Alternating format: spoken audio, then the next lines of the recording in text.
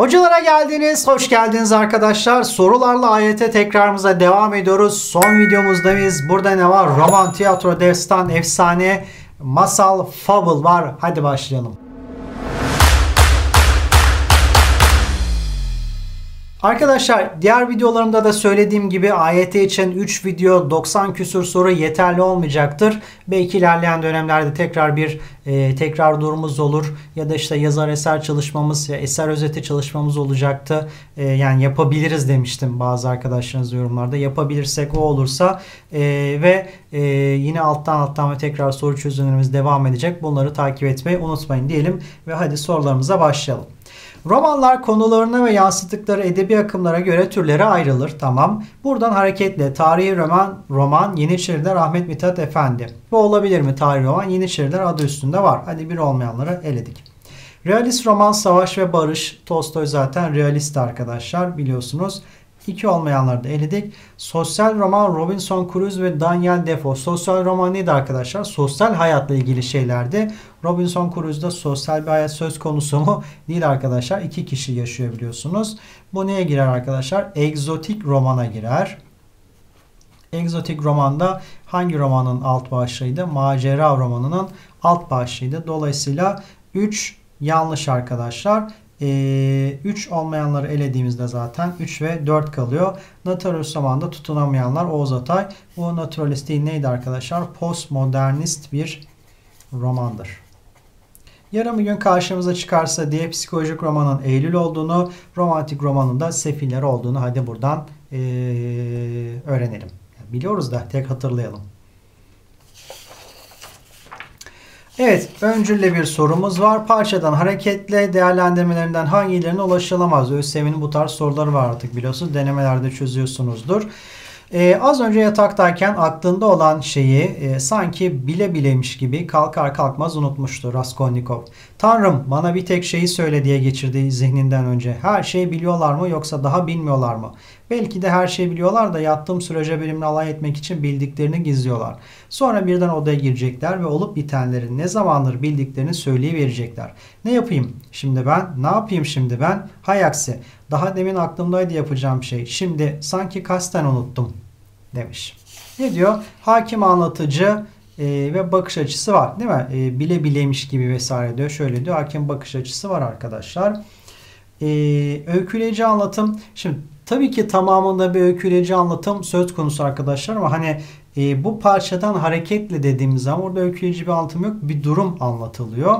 İç monolog tekniği iç içe içinde kendi kendine konuşması bu da var. Yalnız iki seçeneğimiz var mı? Varmış. Cevabımız Bolu oldu arkadaşlar. Yukarıdaki iki sanatçı ait sözler romanın hangi özelliklerini vurgulamaktadır? Nabokov, Emma Bovary denen kız hiç yaşamadı. Madame Bovary kitabı sonsuza dek yaşayacak. Sonsuza dek yaşayacaksa nedir arkadaşlar? Kalıcılıktır. Büyük ihtimalle budur. Diğerine de bakalım ama. Stendhal, roman uzun bir yol boyunca dolaştırılan aynadır. Aynadır nedir? Yani gerçekleri yansıtmalıdır diyor. Dolayısıyla cevabımız Bolu oluyor arkadaşlar.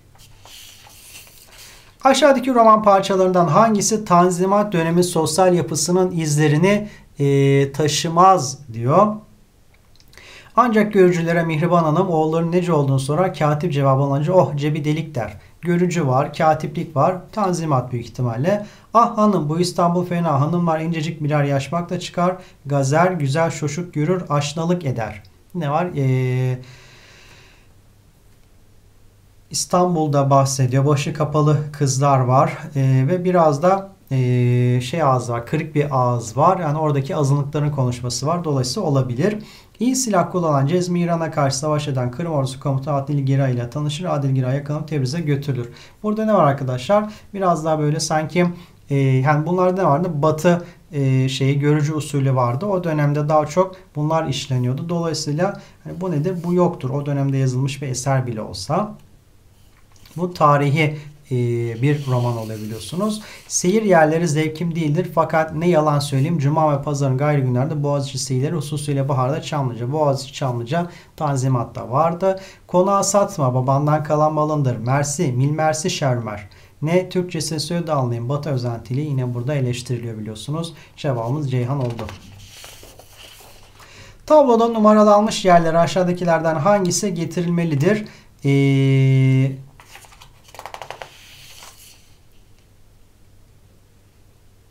bu soru buranın sorusu değil ama e, roman sorusu değil arkadaşlar. Karışmış herhalde araya. Olsun çözelim. Gelmiştir arkadaşlar. Belki bir önceki şeyde olacaktı. Buraya karıştı. Ee, şeyhi Mesnevi kimindi arkadaşlar? Mesnevi e, Hazreti Mevlana'nın da e, bir düzce olacak. E, Şeyhi kaçıncı yüzyılda yaşıyordu? 15. yüzyılda yaşıyordu. Nefi'nin de nesi vardı? Sihamı kazası vardı. Yani cevabımız düzce olacak. E, soru araya karışmış olsun. Önemli değil. Fazladan bir soru çözmüş olduk. E, yine uzun öncüllü bir sorumuz var arkadaşlar. Hüseyin Rahmi Gürpınar'ın edebi kişiliğini anlatan e, bu parçada numaralanmış cümlelerin hangisinde bilgi yanlışı vardır? Bakalım. Hüseyin Rahmi Servet-i Fünun topluluğuna katılmadan bağımsız olarak eserlerini vermiştir. Doğru. Romanlarında sosyal sorunları, batıl inançları, aile geçimsizliklerini, yanlış batılaşma, eski İstanbul gündelik yaşamı, realist naturist bir yanlışı anlatmıştır. Doğru. Romanları teknik açıdan kusurlu olan Hüseyin Rahmi Servet Fünun romanı yaptığını yapmış. Roman akışını keserek bilgi vermiş ve olaylara müdahale etmiştir. Şimdi Servet Fünun'da arkadaşlar tabii şu büyük olacak. Ee, roman akışını keserek bilgi verme olayı var mıydı? Yoktu. Tanzimatta vardı. Ahmet Mithat yapıyordu. Dolayısıyla 3 yanlış arkadaşlar. Cevabı bulduk ama yine de okuyalım. Miza, eleştiri, gözlem ve çevre tasvirine önem vermiş. Sosyal tenkit romanlarının hepsinde yer alan en önemli unsur olmuştur. Evet. Şık, İffet, Mutallaka, Murabbi, e, Mürebbiye, Şıp, Seydi, Gulyabani işte bunlar da romanlarından bazılarıdır arkadaşlar. Bunlarda sıkıntı yok. Cevabı bulduk. 3 yani Ceyhan.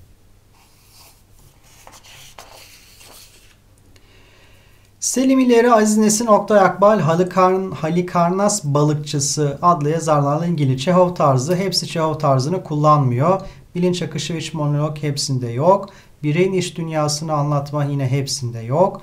Eleştirel toplumcu gerçeklik bunlarda yine hepsinde yok. Konuşma dili Türkçesiyle evet bunların konuşma diliyle konuşup yazıyorlar arkadaşlar ve en ortak özellikleri zaten Cumhuriyet dönemi e, romancısı olma cevabımız Edirne oldu. Yine uzun öncüllü. Örümceğin kitabı romanından alınan bu parça ile aşağıdakilerden hangisi söylenemez demiş. Akıl almaz bir şey bu diye mırıldanıyordu Müfit. Acuze dolu bir berber salonu ve her ayının içinde Huri gibi güzel bir kız. Bu ihtiyar kadınların gençlikleri ne kadar güzelmişler. Düşüncelere dalmıştım. Bu berber dükkanında yaşlılık ve gençlik bir arada dedim.'' Evet dedi İzzettin. Yaşlılık ve gençlik bir arada burada. Yaşamak da öyle değil mi diye sordum. Belki dedi İzzettin. Yaşamın içinde de gençlik ve yaşlılık bir arada ama buradaki olay değişik. Evet çok değişik demiş. Bakalım. Mekan fantastik anlatılma bir berber salonu. Evet. Ayna zaman geçişlerini sağlayan bir unsur. Gençlik gelecek vesaire demişti. İroni ve parodi. Hmm. İroni neydi arkadaşlar? Alay. Parodide de e, bir eserin e, benzer yanlarına o pastişte e, ironi dalga geçme parodi onu e, ciddi bir eseri komik yanlarına e, söylemeydi. Burada böyle bir durum söz konusu değil. Cevap Ceyhan. Eksiltili ve devrik cümleler var. İki kişi arasındaki diyalogda var arkadaşlar. İzzettin'le e, Müfit konuşuyordu. Hatırlarsanız. Hatırlarsınız zaten parça burada. Evet 12 Mart dönemini anlattığı 47'ler romanı. 47'ler romanı kimin arkadaşlar? Firuza'nın da. Bakalım başka bir şey var mı? TDK roman ödülü alan nokta nokta. Romanda 47 doğumlu asli kişi Emine Semra Kozlu'nun kişiliğinde 12 Mart döneminin dışarıya yansımayan kapalı dünyasına ayna tutar. Almanya incelemelerinden sonra da göçmen ve gurbetçi işçi sorunu üzerinde durmuş ayrı kültürlerden gelen insanların yaşamlarından kesitler vermiş ve Berlin'in nar çiçeğinde Almanya'daki Türk işçileri ile ilgili anılarını romanlaştırmıştır. Demiş Berlin'in nar çiçeği. Yine Firuza'nın bir eseriydi arkadaşlar. Cevabımız Edirne oldu. Direkt emin olarak söyledim ama inşallah yanlış hatırlamıyorumdur. Öyle geliyor. Yanlış hatırlıyorsam siz yorumlarda arkadaşlar ne yapın? Beni düzeltin. Çok kalın olduğu için sığmıyor böyle arada düzeltme ihtiyacı hissediyorum. Eee Yine numaralı ölçülerin hangisinde bilgi yanlışlığı vardır demiş. Yapıtlarında mizah ögelerinden yararlanıp toplumun aksiyon yönlerini dile getiren yazarlardan biri de Muzaffer Üzgün. Evet mizah yönü ön plandaydı hatırlıyorsanız. Daha çok öyküye yönelen sanatçı gözlemlerine dayanarak romanlar da yazar. Daha çok öykücüydü. İlk roman olan Gece Kondu'da Güney Anadolu kentlerinden birinde Gece Kondu halkın yoksul yaşantısını verir. Zaten adından belli. Zübük'te Zübükzade İbrahim tiplemesiyle Zübük dedi. Zübük kimin arkadaşlar? Zübük Zübük Aziz Nesin'in eseriydi. Aziz Nesin'in eseriydi. Dolayısıyla 3 e, şey 4 yanlış oldu. E, İlyas Efendi bir nüfus memurunun parasızlık yüzünden çektiği sıkıntıyı Haloda'yı da köyden kente göçü e, konu alan romanıdır. Evet bunlar doğru arkadaşlar. Ama Zübük kimin de Aziz Nesin'indi. Yani 4 yanlış oldu. E, cevabımız düzce oldu. Evet yine bir romandan parça var.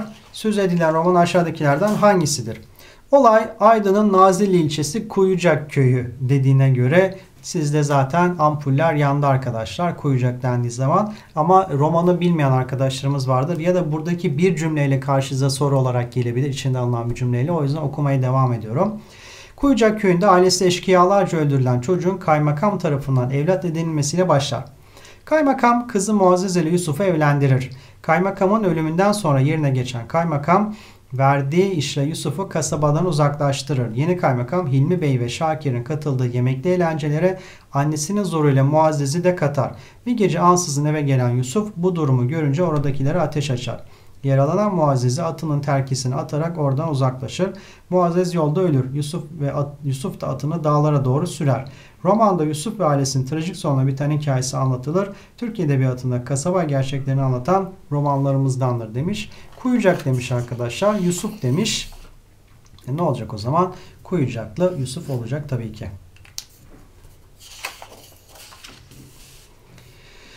Evet. Bir miktar roman var burada. Hangisi yukarıda verilen özelliklerin hiçbiri eşleştirilmez demiş. Bakalım gazetede tefrika eden Sefile romanı sansürden geçmeyince kitap halinde basılamadı ama o çalışmalarını devam etti ve bir yıl sonra Nemide'yi yazdı. Sefile ve Nemide kimindi arkadaşlar? Ee, Halid Ziya'nın da bunu eledik. Fecrate'nin Halid Ziya'sı denilen yazar İnhizam. Fecrate'nin Halid Ziya'sı kimdi arkadaşlar?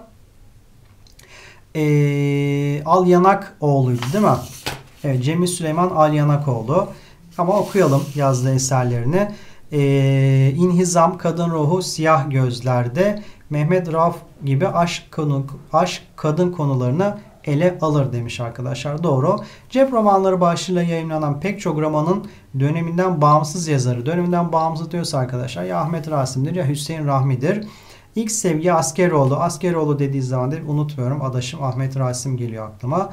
E, tecrübesiz aşk romanlarında Hüseyin Rahmi ile birlikte zaten Hüseyin Rahmi ile birlikte demiş. Demek ki diğeri e, kim olacak arkadaşlar? Ahmet Rasim olacak. Döneminin bağımsız yazarı. Aşk, hüzün, karamsal gibi konularda Ferdai Garam. Ferdai Garam kimindi arkadaşlar? E, o da Mehmet Rauf'un eseriydi. O da geldi. Boşta kim kaldı? Sahbeti Ziya, Ferdai Garam, Ka, e, Genç Kız Kalbi, Karanfil ve Yasemin romanları hem de dönemine göre temiz ve akıcı bir dil kullanarak kalem almış. Kim almış? Mehmet Rauf, Sahbeti Ziya. Doğru cevabımız oldu. Tazimat Servet İfad'ın Fecrati romanlarının ortak noktası aşağıdakilerden hangisidir? Sadelik, akıcı dil hepsinin ortak değildir. Ama nedir arkadaşlar? Olayların genellikle İstanbul'da geçiyor olması, zengin semtlerde geçiyor olması o genelden bahsediyoruz. Klasizm ve romantizm hepsinde yok. Realizm de var içlerinde. Batılı anlamda ilk roman örnekleri e, bunlar da değil. Kölelik, cariyecilik, külüşü bu tanzimatta var. Diğerlerinde yok. Ama genellikle İstanbul'da geçiyor olması hepsinin ortak yönü.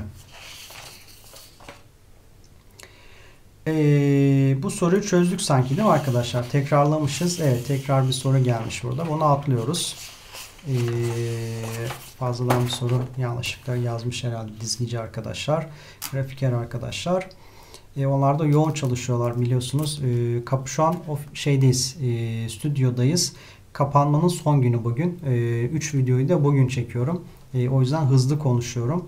E, biraz hızlı gelebilir arkadaşlar. Mümkün olduğunca açıklamalarımı da yapıyorum. Bir sıkıntı olursa e, yorum kısmına yazarsınız. İletişim bilgilerini zaten Instagram vesaire paylaşmıştım daha önce sohbet kısmında bir videoda. Şey bir videonun yorum kısmında sorunuz vesaire olursa oradan ulaşabilirsiniz. Töre ve karakter komedyasının kurucusu Molière. Doğru mudur? Doğrudur arkadaşlar. Molière töre ve karakter komedisinin kurucusudur. 17. Ee, yüzyıl Parisli Burjuva ailesi ve dönemin ahlak anlayışını veren Cimri. Evet tanınır. Doğru. İki de doğru. İki olmayanları eleyelim.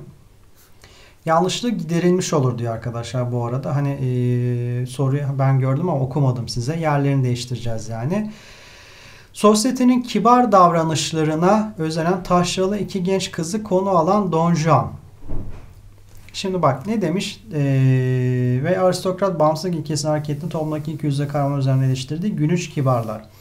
Kibar davranış demiş. Günüç kibarlar. Dolayısıyla ne olacak? 3 ile 4 yer değiştirecek. Eseri 1002 eseri de bilmiyor olsanız bile bağlamdan çıkarabiliriz arkadaşlar. Dolayısıyla cevabımız 3-4 olacak. Yani ne varmış?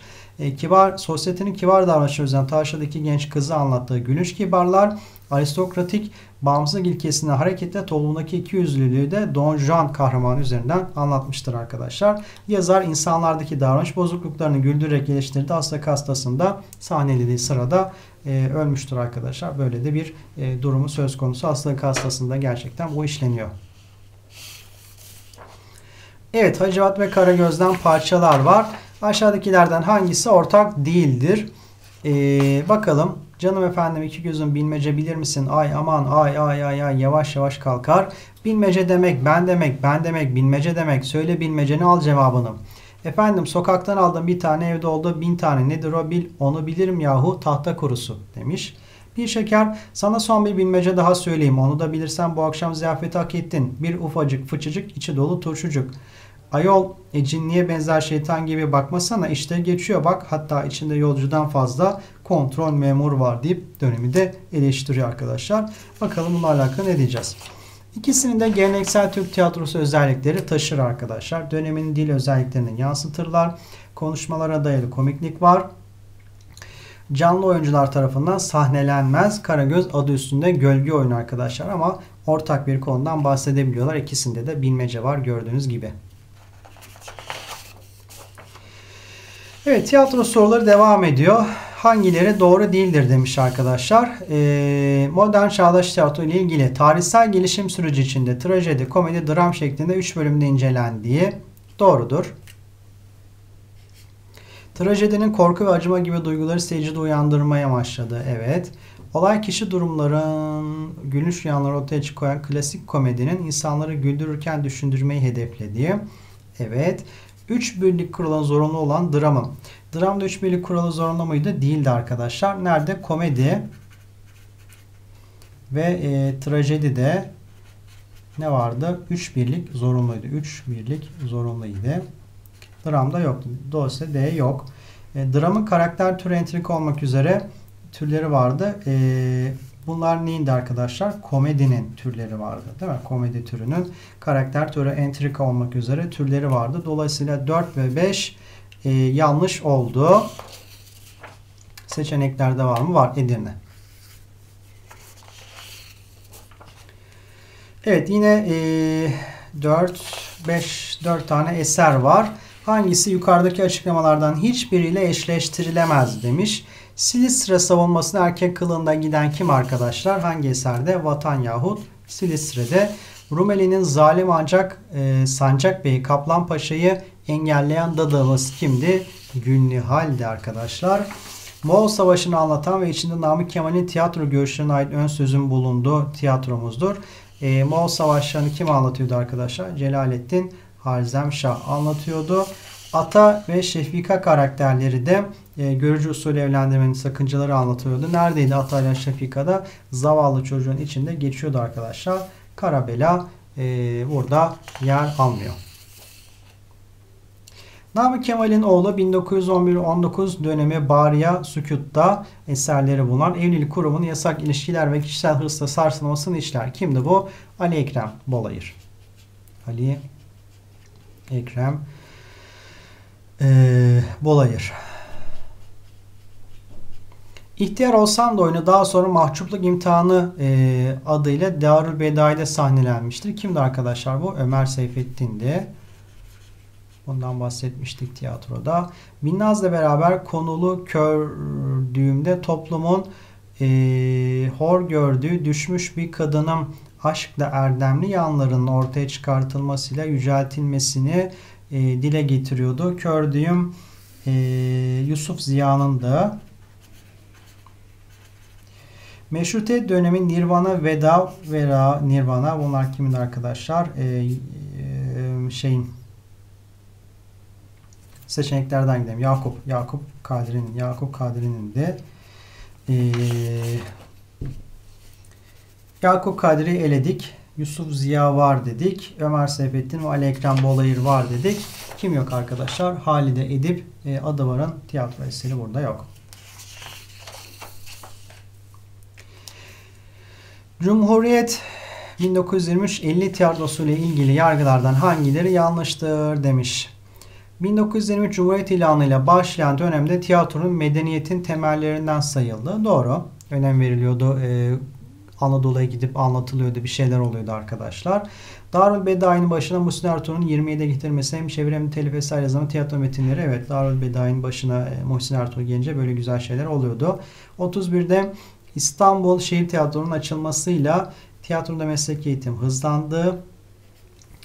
E, ee, 30'lu yıllarda Akın Özyurt eserlerinde Yusuf Ziya değil arkadaşlar. Özyurt kimin eseriydi? E, Faruk Nafiz'in eseriydi. Faruk Nafiz Şamlıbel'in eseri. E, Akın da onun. E, dolayısıyla 4 yanlış.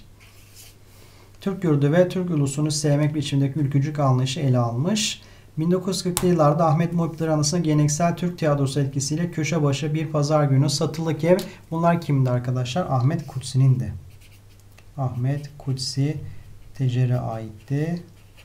Dolayısıyla bu dönemle alakalı 4 ve 5 yanlış oldu. Bakalım seçeneklerde var mı? 4 ve 5 Edirne.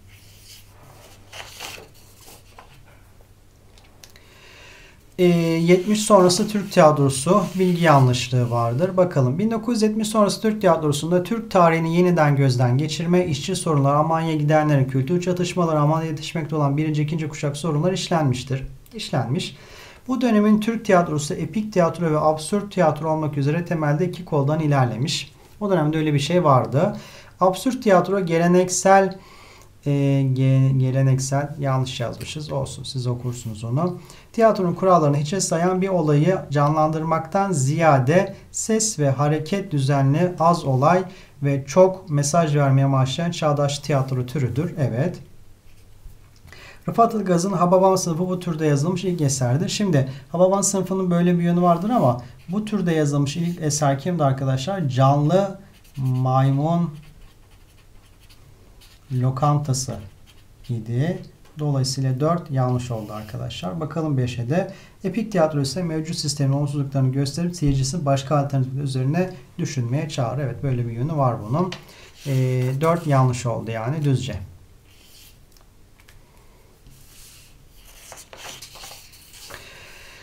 Bertolt Brecht neydi arkadaşlar? Bu epik tiyatronun kurucusu kabul ediyordu kendisini. Kabul etmeyen, irdeleyen bireylerin çoğalması umuduyla var olan sanat anlayışını değiştirmek üzere üzerimiz değiştirmek üzerimize bir görevdi. Biraz önce epik tiyatronun böyle bir yönü var demiştik. Bertolt Brecht de epik tiyatronun kurucusuydu. Toplum yani deyince epik tiyatro deyince akla gelen ilk isimdi. Toplumu eleştirmek için eserler yazmalıyız. Tiyatro seyircisi bir oyunu seyrettikten sonra sanat buna derler işte her şey ne kadar da şaşırtıcı. Ağlayanın durumuna gülüyor, gülen durumuna ağlıyor insan demelidir. Tiyatroda önemli olan konuyu belli bir coşkuyla vermek ve çeşitli güçler arasındaki çatışmayı vurgulamak değildir. Bizim anlayışımızdaki tiyatroda olayı bir makasla keser gibi parça parça kesip doğrayabilirsiniz ama yine de parçalar asla yitirmez diriliğini. Yani e, epik tiyatrodan bahsediyor arkadaşlar. Biraz önce de söyledim. Zaten Bertolt Brecht'i gördüğünüzde bu aklınıza gelsin. E, epik ne olabilir? Keşanlı epik olabilir. Bu olabilir. Bu olabilir. Bunlar olabilir arkadaşlar ama canlı maymun lokantası için biraz önce ne demiştik? E, absürt tiyatro örneğiydi. Dolayısıyla cevabımız Ceyhan oldu. Evet bir iki tane destan e, ve masal sorumuz var. Ee, sonra arkadaşlar bitecek. Bazı ülkelerin hem yapma hem de doğal destanları vardır. İngilizlerin Milton'ın yazdığı ve insanın cennetten kovuluşu ve Tanrı'nın şeytan mücadelesini anlatan yapma destanı neydi arkadaşlar? Kaybolmuş cennet olacak Milton deyince.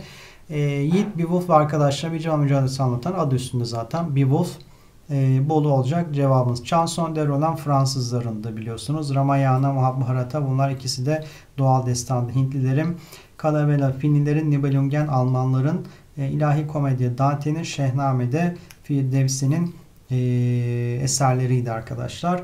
E, destanlarıydı diyoruz ve destanları da böylece hatırlamış olduk. Cevabımız Bolu oldu. Oo. Uzun 3 sayfalık bir sorumuz var. Oğuz Kağan Destanı'nda alınan parça demiş. Okuyalım. Rüya üzerine doğuya gidenler bir altın yay, batıya gidenler üç gümüş ok buldular. Bunları babalarına verdiler. Oğuz Kağan yayı üçe böldü ve ey büyük oğullarım yay sizlerin olsun. Yay gibi okları göğe kadar atın dedi. Okları da üçe üleştirerek ey küçük oğullarım oklar sizlerin olsun.'' E, yay oku attı sizler de ok gibi olun dedi. Ondan sonra Oğuz Kağan kurultayı topladı halkını çağırdı yurdunu bozoklar ve üç oklar diye anılan oğulları arasında paylaştırdı ve dedi ki Ey oğullarım ben çok açtım, çok vuruşmalar gördüm, çok karga ve çok ok attım, atla çok yürüdüm. Düşmanları ağlattım, dostlarımı güldürdüm, ben gök tanrıya ödedim, borcumu ödedim, şimdi yurdumu size veriyorum.'' Oğuzkan destanından alınan bu parçayla ilgili olarak aşağıdakilerden hangisi söylenemez? Dönemin yönetimle ilgili zihniyet özelliklerini yansıtmaktadır. Nazım ve nesir iç içedir değil mi? Bir düz yazı kısmı vardı, bir şiir kısmı vardı. Olağan ve olağanüstü olaylar, şimdi hep bunu söyleyemiyoruz. Ee, hem pardon, göğe atıyordu, bir şey yapıyordu, e, paylaştırıyordu. Evet, olan var bir arada. Kahramanın içsel giderken altın ok bulmaları vesaire içsel özellikleri denilemesine burada anlatılmaz. Destanlarda kahramanlık anlatılıyor ve daha çok ulusal özellikler oluyor destanlarda biliyorsunuz. Ve e, son sorumuza geliyoruz arkadaşlar. Aşağıdakilerden hangisi bir masalın ne ya? Çok soru çözdüm. Normal görün, mazur görün arkadaşlar. Geri aldım dediğimi. Kendi kendime eğleniyorum burada. Mazur görün bunu da. Şimdi aşağıdakilerden e, hangisinin bir masalın döşeme bölümünden alındığı söylenebilir? Döşeme masalın bölümleri neydi arkadaşlar? Döşeme, serim, düğüm, çözüm ve e, dilek kısmı vardı. Döşemede e, evvel zaman içinde kalbur zaman içinde serim düğüm çözümü aynı hikayedeki gibi dilekte de gökten 3 elma düşmüş Ali'ye, Ayşe'ye, Fatma'ya şeklinde oluyordu arkadaşlar. Gökten 3 elma düştü. Yiğit olanların başına bu ne oldu? Dilek kısmında geldi zaten. E, Kediler Sultan arayıp durmuş ama ne çare. Bu da sonuç kısmı. 3 elma gün alma biri at biri Murat biri de attan Murat'tan ileri evlat demiş. E, bu da değil. Evvel zaman içinde, kalbur zaman içinde cinler cirit oynarken eski zaman içinde bir padişah varmış. Bu ne yaptı arkadaşlar? Baştaki döşeme kısmı cevap doğru oldu. E, D oldu. Düzce oldu. E, ben de bir yandan E'yi okuyalım. Burada da böyle bir durum söz konusu değil diyoruz ve genel tekrar videomuzu bitiriyoruz arkadaşlar.